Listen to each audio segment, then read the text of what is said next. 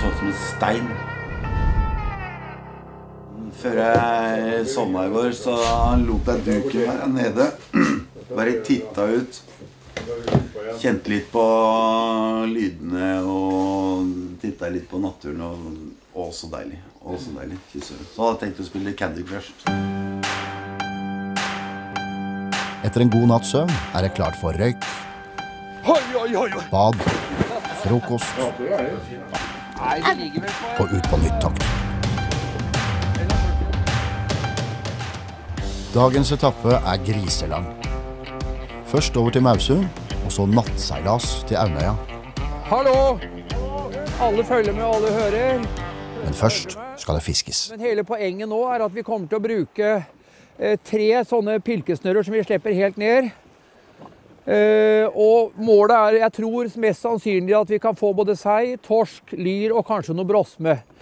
Så vi får se hva det kan bli. Ja, jeg skal begynne. Svein. Tobarnsfar, separert fra kona. 16 hjerteinfarkt. Vært klinisk død i ti minutter. Domfelt for vold. Du vil ikke se meg sint. Da blir jeg jævlig sint. Ja da.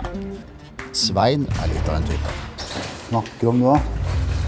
Det eneste jeg kan svare på det, er at jeg har vært glad for at jeg har fått jobbe for Røde Kors. Det var ganske greit, for da slapp man også fly hjemme uten å ha, ha noe å henge fingre i. Her skrur jeg sykler, og jeg hjelper til litt overalt hvis det trenges noe hjelp. Og så sykler jeg eldre mennesker en gang i uka. Ja, hva gærent har du gjort, da? Nei, jeg har Så jeg har gjort så mye rart at eh, Men så er ikke jeg noe kriminell i utgangspunktet, nei. Jeg er ikke Det kan kanskje se sånn ut. jeg veit ikke. Det er bare én ting Svein virkelig hater. Og det er Nav. Krangla mye med dem. Trua dem mange ganger. Jeg kan ikke gå og vente på skattepengene mine når jeg står der og sliter med tennene mine. for det første. Hva skal dere gjøre for noe for å få hjelp av meg nå? For nå begynner jeg å bli rimelig irritert. Hører du, eller? Ai, ai, ai! Men bortsett fra konflikter med Nav og lite fiskelykke, er livet ganske greit. Den, er, den skal jeg ha. Å, den var fin. Nei. Det stakk den av, ikke sant? Nei. Jævla drittsekk! Er det mulig? Den er helt til vannflata, så stakk den av. Å komme opp til nettverk etter soning, der har folk på en måte sett at jeg kom inn som en sånn apekatt. Og det er vel de som har fått meg til å bli rolig. Jeg har reist på det hav, jeg har vært på seilas.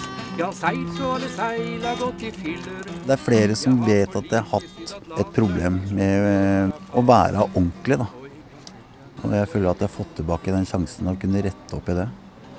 Og jeg kan ikke si noe annet enn at jeg føler at jeg har det bare bedre og bedre og bedre for hver eneste dag som går. Og det ryktes rundt på øya nede var nå ikke rart. At folk fra Sørlandet de smaker riktig ille.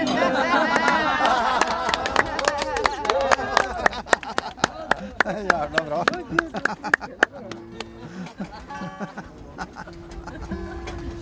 Jeg lurer på åssen de andre egentlig har det. Har de det like bra som oss?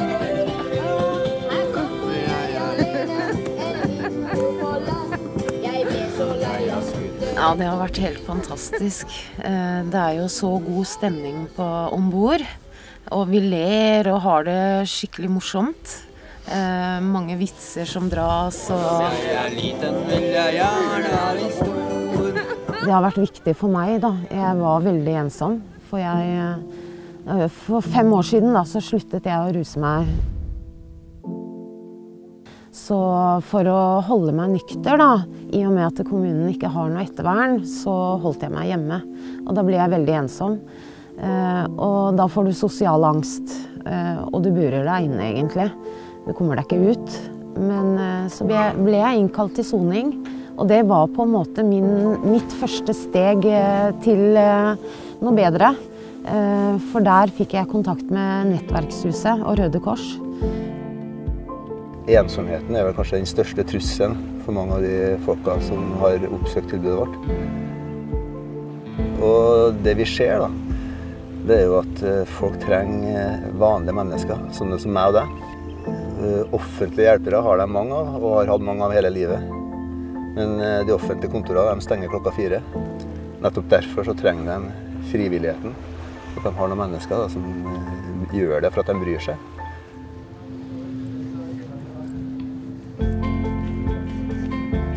Jeg har tre barn. To av dem er i fosterhjem, og ett er adoptert bort. Men alle er i familien, og det er jeg veldig glad for. Så nå er liksom jobben da, å komme ut i samfunnet igjen. Få se barna mine mer. Kanskje til og med få lov til å ha dem.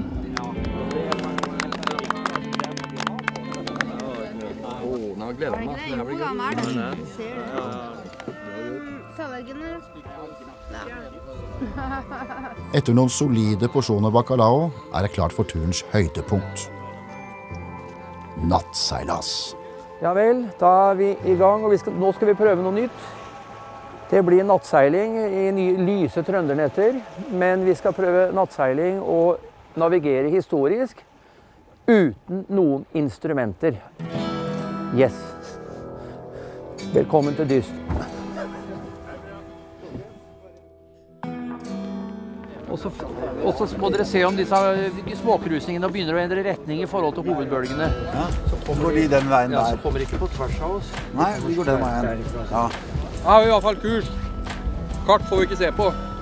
Komme fram gjør vi til slutt. Så da følger du med og har blikk hele tida på vindhanen der. Ja, den er grei, for nå står vi ganske likt, egentlig. Ja. Så du ser han må Helt topp for min del, i hvert fall.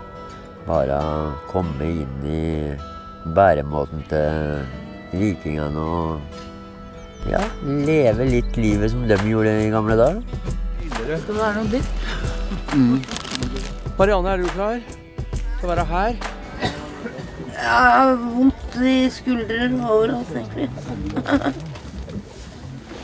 Nå har jeg fått i meg smertestillende, så nå overlever vi til. Eh, Jeg har bestemt meg for å endre livet fordi helsa mi tåler ikke. Jeg har rusa meg i 30 år, og den er eh, som sagt skrøpelig. Kan du ta over? Sånn. eh. Og det er ikke verdt å sitte inne når eh, kvantumet blir større og soningene blir lengre. Nei, jeg vil ikke kaste bort mer tid i fengsel, for å si det sånn. Ikke begynn å le, da! Etter noe smertestillende er Marianne tilbake i toppslag.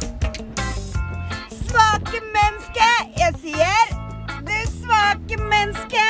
Hvorfor er du så svak? Hvorfor er du så svak? Ja, du dummer deg ut sånn som du gjør. For du, du røyker. Nå har jeg gjort det så mange ganger, gått ut av fengsel og starta å ruse meg igjen. Og jeg vet hvordan det er. Og det er eh, slitsomt, og det krever mye. Pass deg, så ikke du blir en av dem hvis du er tøff nok. Det er faktisk morsommere å være nykter. Det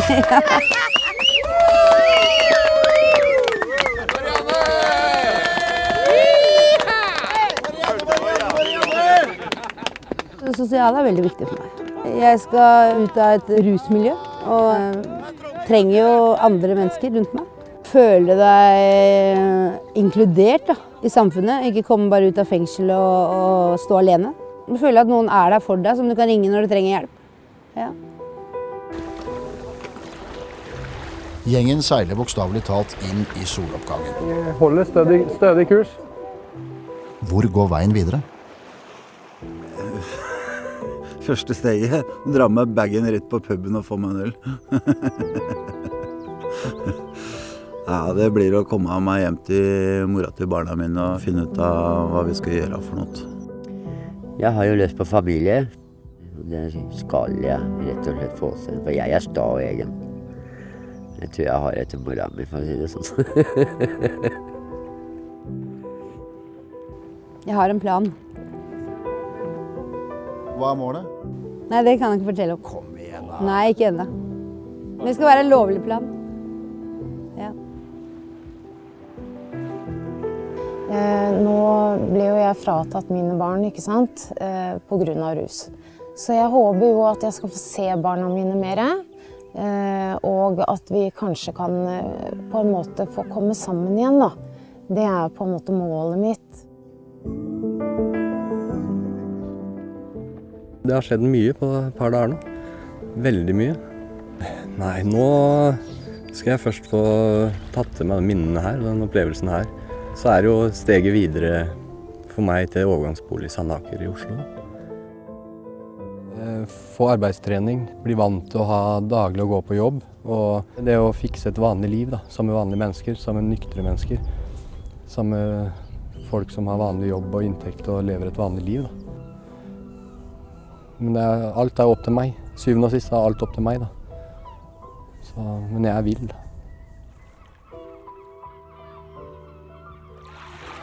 Det er sjelden jeg har møtt mennesker som er umulig, men jeg har møtt veldig mange umulige situasjoner. Du kan bare se på den båtturen vi har vært på nå. Det kunne godt ha vært mine naboer, det kunne ha vært meg, det kunne ha vært deg. Eh, Og nettopp derfor så tenker jeg at eh, litt av jobben vår er kanskje å ta av alle de merkelappene du har fått gjennom livet. For er det noe samfunnet er god på, så er det å sette på merkelapper. Du svake menneske! Jeg sier, du svake menneske. Eh, Kan du lage noe kaffe, eller? Det er bare å komme og hente, og så kan du gå opp i huset og lage. Etter fire døgn på tur har Dag Otto, Marianne, Svein, Tor Jonny og Janett fått venner de kan dele opp- og nedturer med. Bra med mat etter tokt. Jeg mangler plyndringa. Mangler den. Solide nettverk. Men er det nok? Får vi se etterpå. Hvis været holder seg sånn, så Veien videre vil garantert bli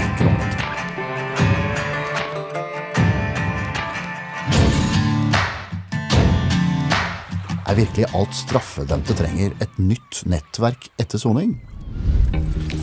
Da skal vi bare Vi bestemte oss for å følge gjengen deres første år i frihet. Ville de holde seg unna trøbbel? Nå er det på vei til Nav, for det, nå må jeg ha en forklaring på dette. Altså. Neppe. Men det gjør ikke noe om du røyker her. Nei, men jeg har egentlig Og så har det vært noen bidragstrekk. Så har det vært kredittorsjekk. jeg er litt glad i sånn eh, kulturelle tingen. Jeg hadde jo besøk av et kvinnfolk her i forgårs. Ganske sprek er jeg.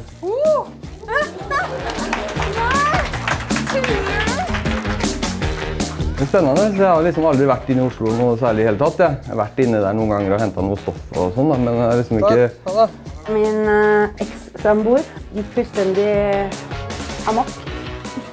Jeg har jo valgt å gå den uh, rusfrie veien.